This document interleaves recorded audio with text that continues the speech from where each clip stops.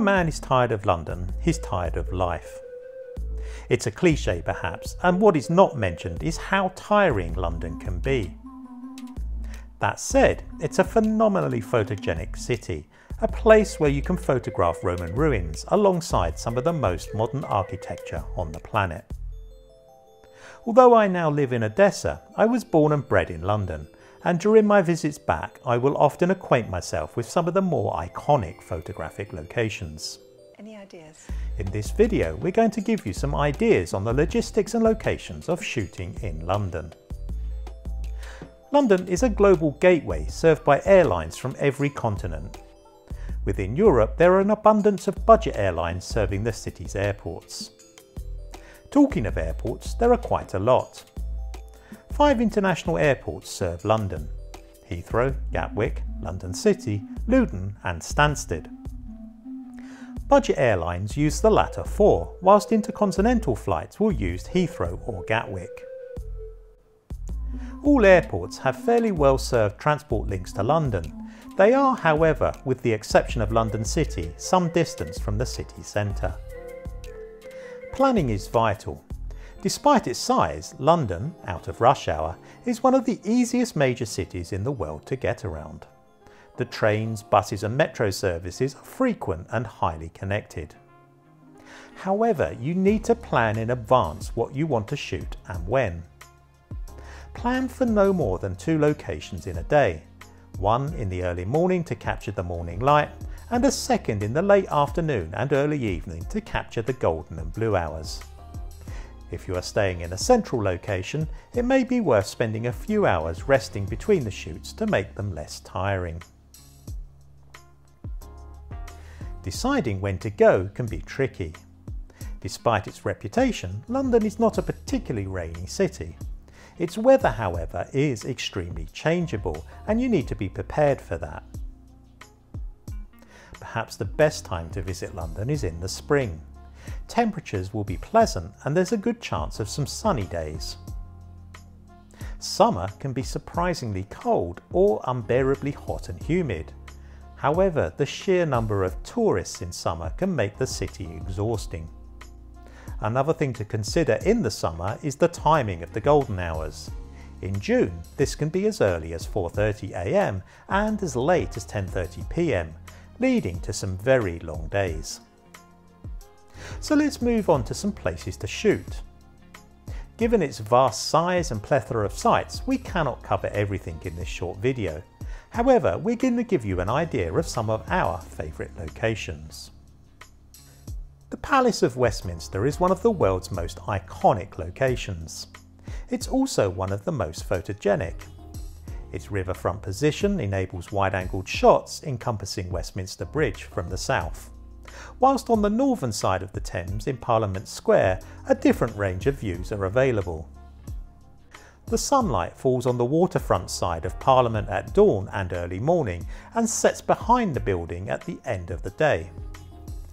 Either of these classic shots can be made from the southern side of the Thames.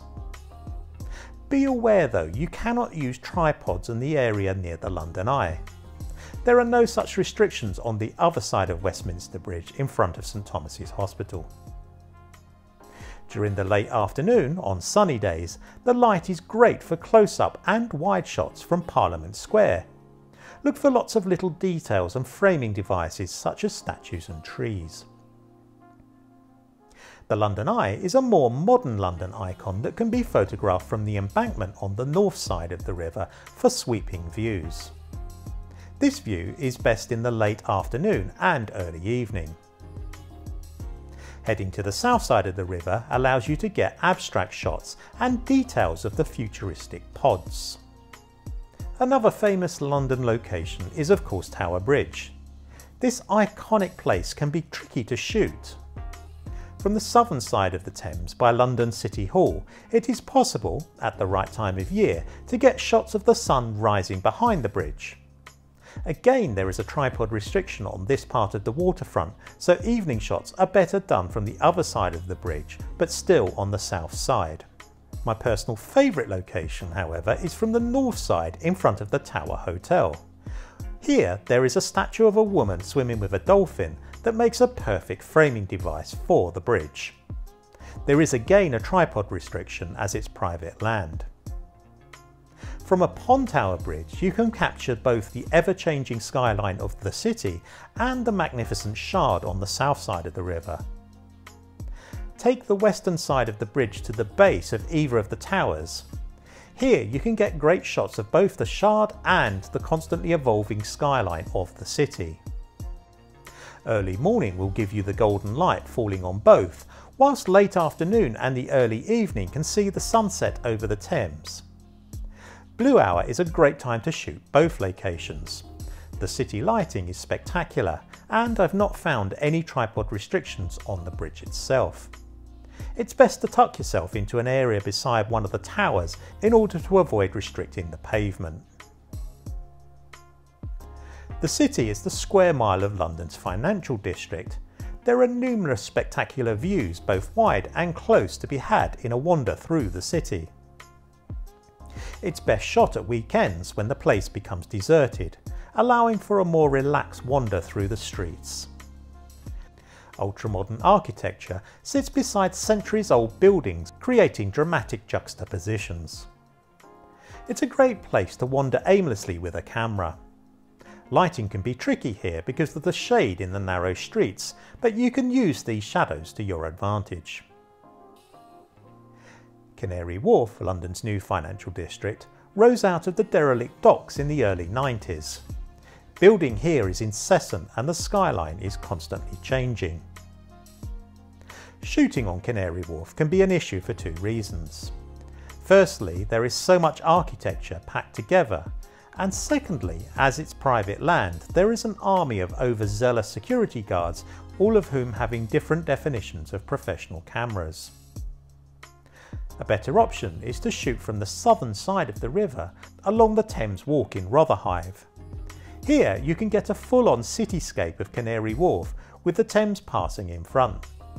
In the evening the district is spectacularly lit and can lead to some stunning shots. Royal London is of course typified by Buckingham Palace. At most times of the day here it's hellishly busy with tourists However, coming early, just after dawn, has two advantages.